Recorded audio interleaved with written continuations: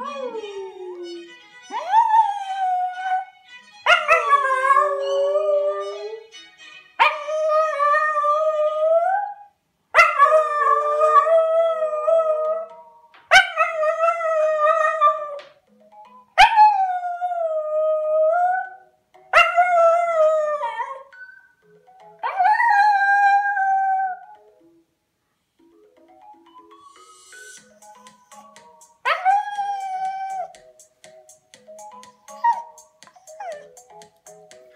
Oh.